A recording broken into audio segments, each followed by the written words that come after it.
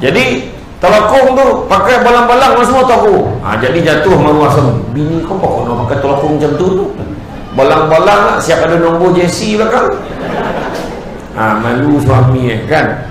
Ataupun tengah-tengah musim panih tak menentu ni.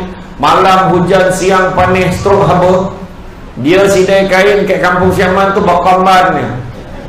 Serap-serap serap serap-serap lalu dah imam abang imam dah oh, macam ni ah.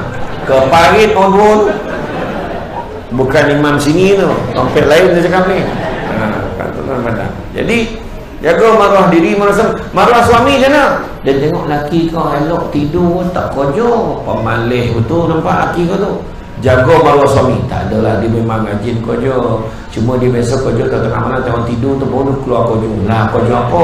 Macam-macam eh. Kadang dia pun yang bawa lori yang ikan ke pasar apa semua. Iya. Iya. Oh siap dah patutlah ponik. Ha, tu lah tu. Jaga maruah suami. Ini dia dia tengok laki kau tidur pemalih tak kojo memang itulah kojo kan pemalih. Menyusahkan orang ni kan? Contoh jangan tu. Eh, marah macam tu marah. Dan yang keempat taat perintah suami. Taat perintah suami pun nak kalau sabar banyak-banyak. Aduh hai. dia suruh perempuan siap. Nak pergi surau malamnya dengan camak satu debat nak siap lah dah kan? Terkial-kial terkial-kial terhapur belek-belek lagi kan? Ke depan cermin dan orang lelaki dah hmm, hmm, motor ke depan kan? Sabarlah kakak dan perempuan sekalian. Sabar orang lelaki macam tu. Cuba time dia lambat tak apa. Ha, sebab dia ketua. Orang perempuan masuk syurga ikut mana-mana pintu pilihan hati kamu. Orang lelaki mana boleh pilih pintu? Orang perempuan boleh pilih pintu. Ingat kainnya kau boleh pilih Poin nilai tiga selama lama dia belek eh. Sekayu-sekayu dia belek eh. Hmm. Hmm. Hmm. Sekali tompah siap sejibi macam langsir mahram. Ha, kan? Terlampau nak milih lah. Kan? Tapi orang lelaki tak boleh pilih pun sebab dapat masuk syurga untuk sebab tanggungjawab eh besar. Roblox eh banyak orang lelaki. Macam-macam tanya. Nak masuk syurga Oh sembahyang bagus Poso bagus Amalan sedekah banyak Bagus langkah Tilu Nampak tak Kau emak kau Tanggungjawab ke emak kau Ada benda tak kepih ni Oh benda eh Ada anak perempuan kau main Kau biar ya Ha kono Tunggu tanya Orang lelaki Itu sebab orang perempuan. Jangan banyak cerita orang lelaki. Apa dia nak setuju ni? Ni saya nasihat betul-betul ni. Nak syurga ke tidak? Ha. Dia ada neraka dia kan? Payah. Payah tu. Kan? Taatlah perintah suami ni. Sonat Tak ada banyak cerita Betul Kan Tak percaya cuba kita ambil pengajaran Dalam kisah kekasih Pak Serena. Kita ambil pengajaran ke situ. Kesian khairah Kan? Saya tak tengok dah drama tu tapi lebih kurang lah kan? Hmm. sekali balik tanggung berah kan mau cerita cerita apa ni? Wah, kekasih pasal apa tahu nak tajuk kan? Ya ni yang ni bini nombor dua dia. Wah saya pun pandang tabah dia kita rasa tu ya apa tapi jangan kesian bang oh, dia terpaksa menyembunyikan dia tak nak orang tahu macam tu kan bagus kalau dalam realiti pun kau faham macam tu Kan? Dan mula lah marah. Mula lah marah. Ini dia puasan dengan imam. Imam jangan ajak lagi berceramah ni. Tu. Menghasut apa cuma. Ha, jadi makna kata, taat kepada Allah, maknanya kau nak sabar. Bukan senang tu. Kita nak pergi semayang, cuba tengok. Arwah Allah Yarham Haji Azmil Mustafa. Tuan-tuan cuba lah buat yang ni. Kita buat cabaran sembahyang jemaah 40 waktu betul-betul cuma buat. Kau dapat? Buatlah dia dapat buat? Malu gitu kan? Cerita yang baik-baik pasal dia. Dia dapat hidayah kat mana? Masjid kat New York ha, biar kita sini cuba oh payah nak kena sabar tu tu. Uh, semua jemaah alah ilek ah ha, seko tu. Wakil kepada setan. Ya. Alah kau yo yo pergi masjid kau yo yo pergi surau kau. Belum tentu baik pergi surau tu. Memang bodoh belum tentu baik pergi surau. Tapi ada harapan baik. Pergi diskon tentu tak baik lah memang tapi belum pernah li orang pergi berjoget kat disco tu. Berhenti je isyak. Kita semayang lu semayang lu tak ada orang kan? Ha, baru-baru ni lah yang mengelinjang tu yang poni kepala tu kan? Morning tuan-tuan. Payah nak jawab. Ada orang yang tanya oh, mana boleh lah pergi disco tapi pakai tudung? Ada orang tanya. Ya, tu fitnah agama tu kalau jawab tu. Ya, orang salah faham ke agama punca apa. Jangan pandang ingat tu ya, tu dia.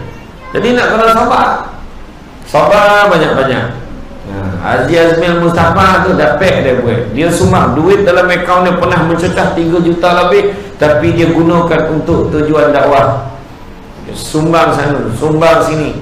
Dia dulu belajar Fatihah. Dulu baca Al-Fatihah kali pertama dia tulisan bumi. Ya, dia tak berhenti mengaji. Dia pergi Yaman belajar tu sebab dia. Sampai dia dah terlantar sakit itu masih lagi duduk di suroda berceramah lagi. Sampailah ke hari akhir hayat dia. Itu dia. Ha, ibu kita tahu. Sampai kalau tengah panggil dia penceramah malam ini Ali Setan. Ramai yang datang. JK Masjid saya minta maaf dengan dia lah minta maaf lah. Di, kita orang letak nama Ali Setan takut orang tak pernah senyum ya. Dia main apa dia kata baik channel panggil ulama orang tak datang panggil setan ramai datang dia betul. Kan? Ha, tapi memang Alhamdulillah dia bawa ke arah kebaikan. Jadi gitu. Itu sebabnya kena sabar betul-betul. Memang nak berubah ni senang tapi nak maintain. Nak bertahan dalam suasana baik. Aku nak cari orang-orang yang baik cari kawan-kawan yang baik macam kita lah nak kuihkan badan ingat senang lah. Kena sabar makan. Saya dah beritahu nak. Pagi sarapan salad dengan apple hijau. Rinco tu tak rinco gaul lah. Rinco lah. Parah tu. Kemudian pukul 10 makan pisang dalam 3 biji. Bukan 3 tandan no 3 biji.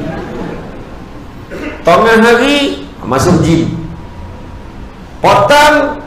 Pukul 3, pukul 4 Makan ayam atau ikan yang dibakar saja Malam Makan buah yang dapat lepas ceramah. Malam ni hempur buah saja tak tak bukan. Ah, Satu kan. Ampek warna putih tak boleh makan Kalau nak kuihkan badan. Nasi gula susu tepung. Paling susah nasi. Ah, sebab tak tahulah orang dah ada lauk sedap takkan tak akan nasi kan? Oi payah. Tapi memang kalau kita stop makan nasi dua minggu dah nampak pasal badan kita akan susut. Ya.